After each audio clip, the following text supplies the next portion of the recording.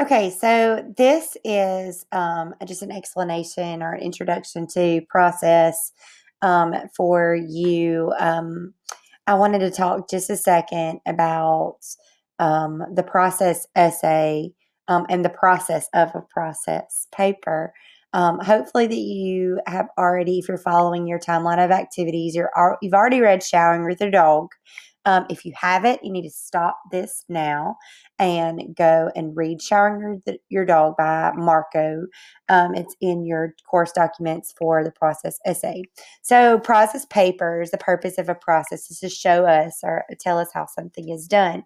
Three kinds of process papers the ones that convey information, like a recipe, and technical directions, papers that uh, interpret a process making it interesting to readers who may never attempt to read it to do it themselves. And then the third kind, which describes how process a process that cannot be reduced into a surefire recipe, like how to paint a landscape, how to write, how to have a happy relationship. The essence of a process essay for our purposes is interpretation.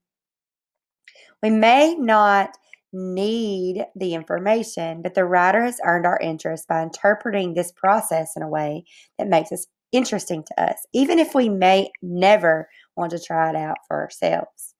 Um, a how to uh, is not really the way to go. It has to be more than just a how to. It has to provide a commentary on the process. And then it's also got to have those common moves that we talked about several times now for um, an essay to be a successful essay. First, you have to kind of guess accurately what your reader already knows about what you're talking about, what they need to know, and what they need to have explained.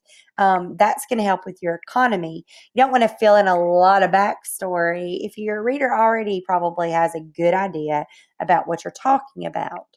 Next, you have to decide on your organization method. This is pretty easy. If the subject is a linear process, how to fry fish, how to change the oil in a car, you just arrange the steps in chronological order by time, adding comments, explanations, and definitions as you go. If it's nonlinear, like listening to music, saving the environment, plotting becomes more important. So you have to arrange the steps in a sequence that is going to hold your reader's interest. So if you got showering with your dog, I want to go through it just really quickly um, using the seven common moves. If you haven't already figured it out, the purpose of that essay, Showering with Your Dog, is not to tell us to how to shower with our dogs.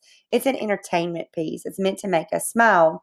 It's a spoof or a parody, and it's not intended to be taken seriously. So the beginning presents an unsettling st- situation, that stinky dog, combined with the proposition that sometimes we have no other choice but to shower with an animal. If you've ever had a big animal uh, you know you end up kind of getting a shower too if you try to give him or her a bath. So this assertion is just really kind of preposterous, though, that we actually get into the shower with our dog. Um, so we're going to be inclined a little bit just to continue to see if she can keep us entertained. So she invents details that amuse us, using her writer's eye and her voice to create striking and humorous images. Without looking back at the essay, you probably find it easy to remember some of the images. That chicken skin on the drain really stood out to me.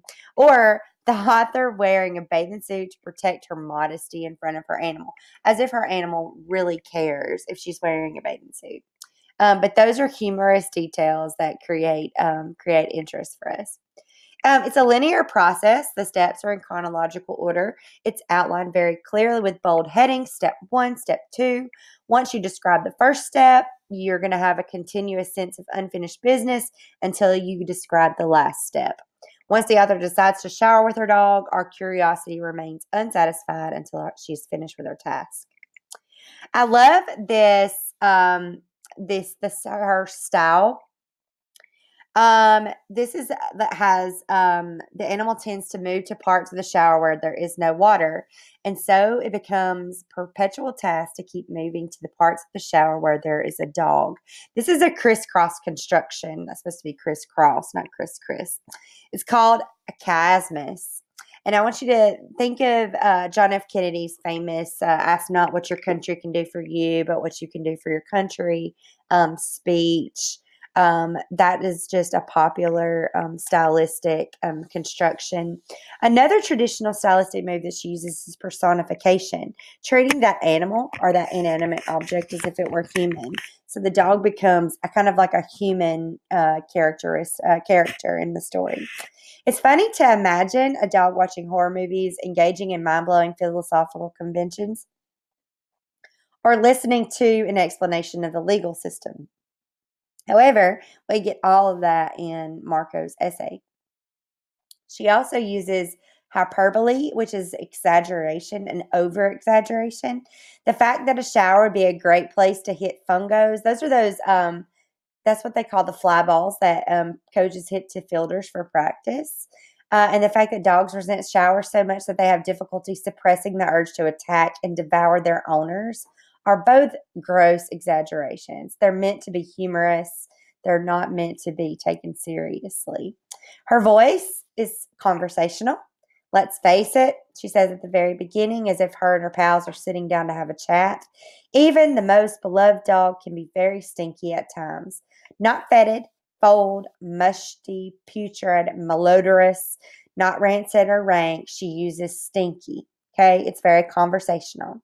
She also uses italics to emphasize words that she might have emphasized in speech. It is advisable to wear swimwear, but you would know. Okay, she's emphasizing words in italics that she might have emphasized while she was speaking. Sometimes she mimics someone seriously giving instruction. During this phase, apply shampoo. Sometimes she uses learned words like hygiene, indoor facilities, and parent or guardian, or adopts the loftiness of a scholar or scientist. It is a well documented fact that only a minute amount of chicken skin can accumulate in the lower third of any area of the world before it will be joined by a dog.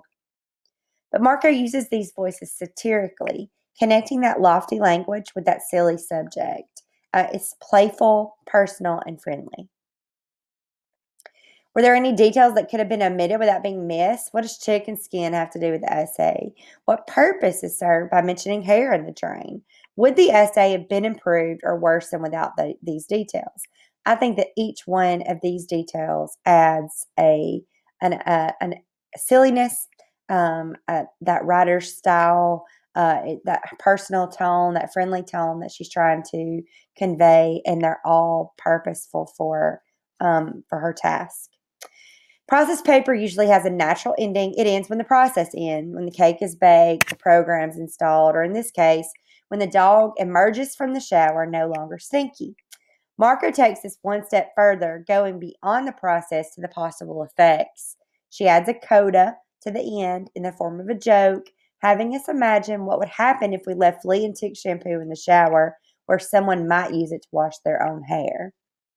She then adds another joke I know I have helped you, knowing full well she hasn't helped us at all. It was not meant to be uh, a, a, help. So, for this paper, I want you to think of a process that you know better than most people in your school how to repair something, make something, do something, or think of something zany like how to become famous by being really stupid, like the Kardashians, how to con your parents into letting you do something or get something, or how to travel around the world without paying for it. Make a list of your steps and then describe each step. Remember, to make it interesting to other people, we've talked about this multiple times, it has to be unique and it has to mean something. Okay. So that's your journal, and that those are the two options that you're going to have for your paper, which you'll see when you read your prompt. Um, I gave you two other essays that you can use to um, to help you. How to Write with Style is a more serious piece, and Fighting Words by Rick Bragg is actually just a really funny piece on college fans, uh, college football fans. So gives you two more options to read and um, interpret and analyze to help you with your own process essay. So good luck, and I look forward to reading your essays.